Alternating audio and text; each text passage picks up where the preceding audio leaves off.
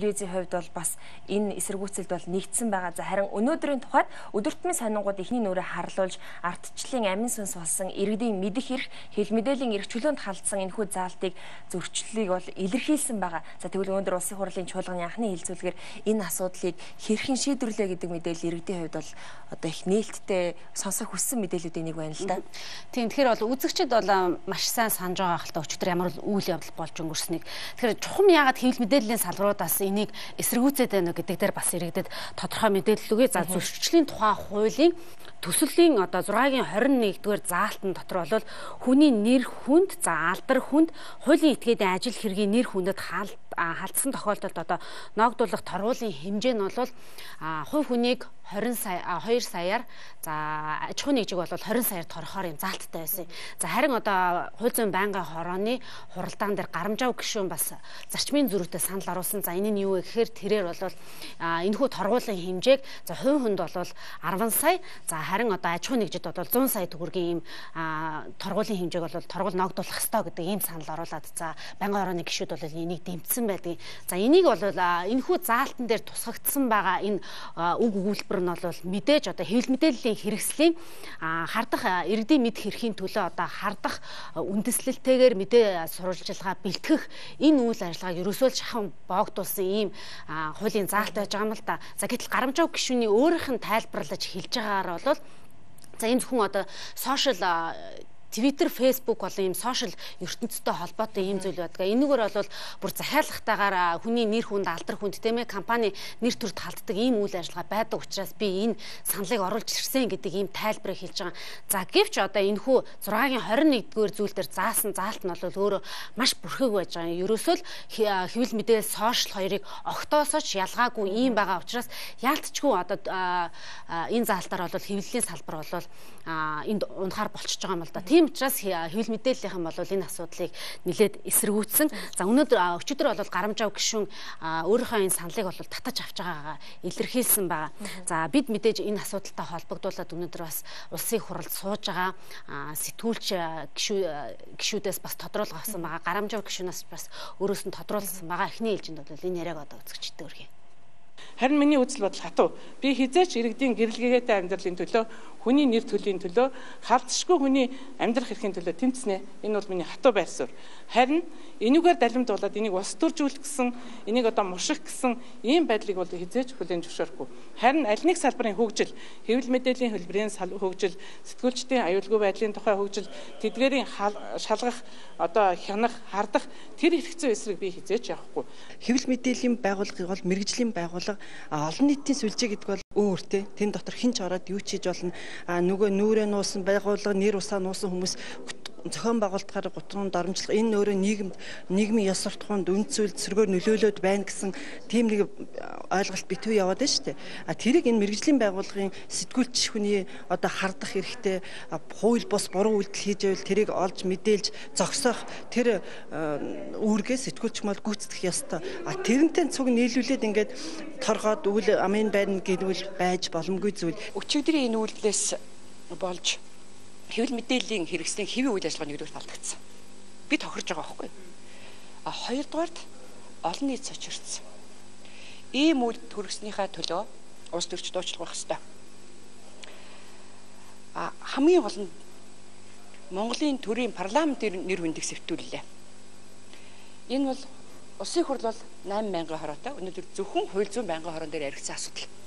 Энэ хууль зүйн байнгын хорон дээр яригдсан асуудлыг улсын их хурл бусад байнгын хороо зөвшөөрнө гэсэн үг биш.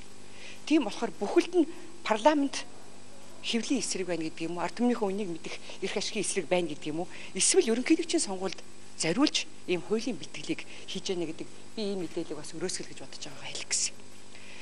Тэгэхээр өчигдөр энэ хуулийн төслийг санаачлагч энэ саналаа татж байгаа тухай мэдээлэл хийсэн. Энэ засагдаад явах юм шиг байна.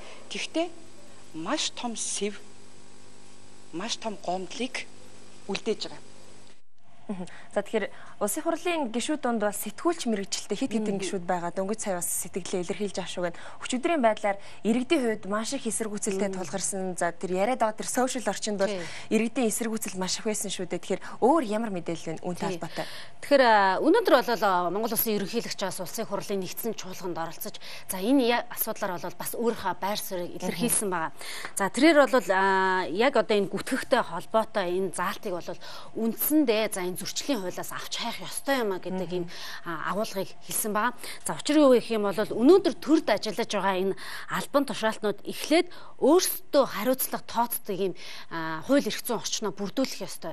Өнөөдрийн байдлаар бол улсын хурлын гишүүн одоо улсын хурлын чуулганы танхимд үг хэлснийхаа төлөө ямар нэгэн байдлаар хариуцлагагүй үг хэлж бусдыг гүтгэснийхаа төлөө хариуцлага үүрдэггүй. За мөн одоо төрийн өндөрдөөд албан тушаалтнуудын тухайд бас ямар нэгэн байдлаар За хариуцлага ажлын хариуцлага алдсан тохиолдолд бас зүгээр л нэг одоо захиргааны хариуцлага үрээд өнгөрөх хэмжээний ийм асуудал байдаг шүү дээ. Тэгэхээр энийг бол эхлээд энэ төрийн өндөр дэд албан тушаалтнууд өөрсдөндөө эхлээд хариуцлагынхаа системийг бий болгоод хариуцлага тооцдог энэ тийм механизма бүр ингээд хэрэгжүүлээд эхэлсэн цагтаа дараагийн асуудлыг ярих хэрэгтэй. Ингэхгүйгээр за шууд одоо иргэдийнхаа нүд чихийг хааж боох эрх энэ улсын улсын хурал төрд бол байхгүй гэдэг ийм агуулгыг бас өөрөө илэрхийлсэн байгаа. За өнөөдрийн байдлаар энэ орж ирсэн хуулийн төсөл дотор за энэ гүтгэхтэй холбоотой энэ заалт нь бол хамгийн бүдүүлэг аргаар за иргэдийн мэдэх хэрхийг хааж боох гэж байгаа ийм хэлбэр юм а гэдгийг бол Монгол улсын ерөнхийлөгч хэлсэн байгаа. За тийм учраас тэрээр за энэхүү заалтыг бол бүхэлд нь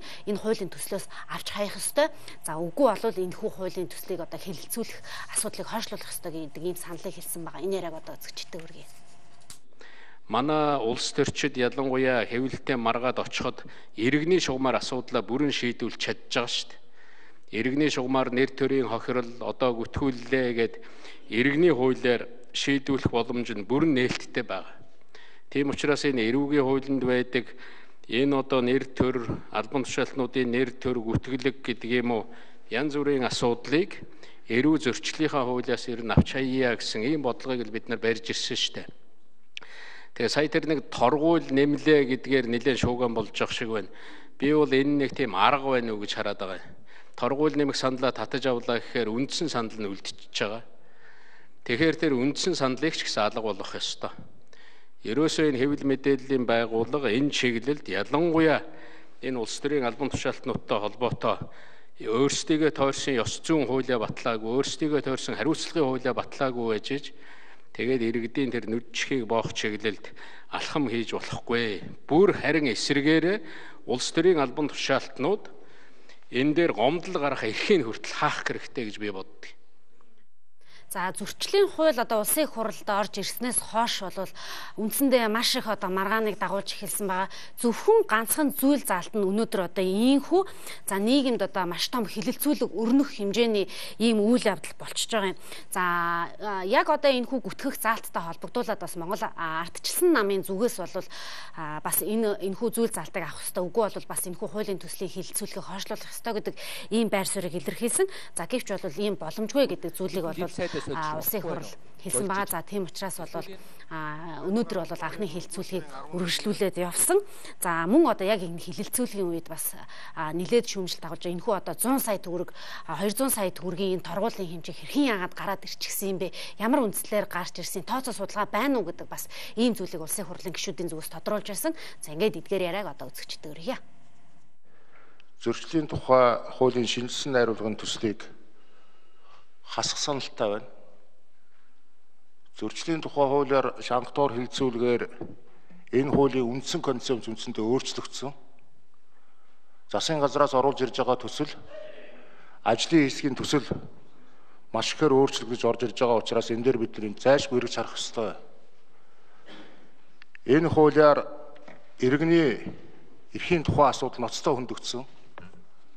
Зөрчлийн тухай хуулинд гүтгэх хулгайн асуудлыг оруулж ирсэн гэмтрийн шинжтэй асуудлыг зөрчил дээр баримтчилгааны тухай асуудлыг оруулж ирсэн ажлын хэсгээс ингээд наад чи нэг юм иргэний болон хүний эрэхтэй ноцтой зөрчилтэй заалтууд хуулийн дарангуулын шинжтэй заалтууд орж ирж байгаад бол нийгэм хэмзгэлж байгаа.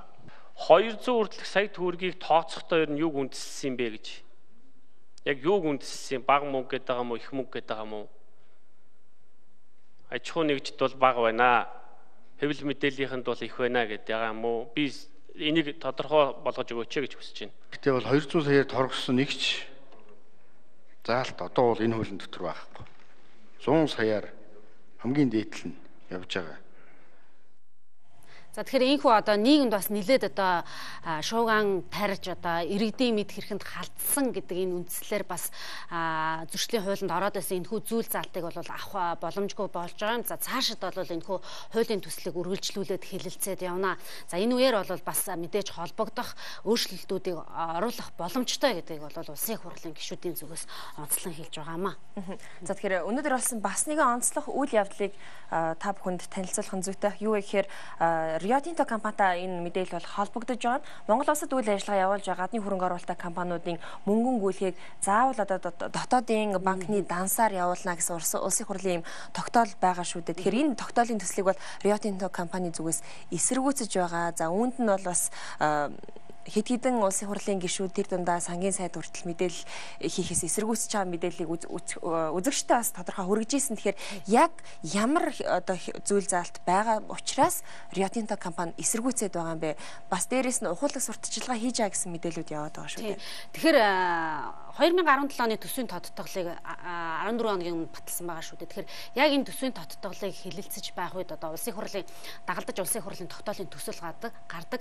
За энэ хүү тогтоолын төслийг хэлэлцэж байх үед улсын хурлын зарим гишүүдийн зүгээс тогтоолын төсөлд одоо нэмж нэг зүйл залт оруулсан байгаа. Тэр нь юу вэ гэх юм бол за Монгол улсад үйл ажиллагаа явуулж байгаа. За энэ хүү гадаадын компаниуд тэр дундаа одоо уул уурхайн томоохон мега төслүүдийг хэрэгжүүлж байгаа гадны компаниудын за мөнгөн гүйлгээ дансны шилжүүлгийг бол зайлшгүй Монгол улсад үйл ажиллагаа явуулж байгаа дотоодын банкны дансаар шилжүүлэх ёстой юм аа. Учир юу гэх юм бол за оюутлогоо дээр харагдаж байгаа тийм оюутлогоо компани тухайд бол хийгдэж байгаа гүйлгээнүүд нь огт Монгол улсаар дамждаггүй. За гадны банкны данс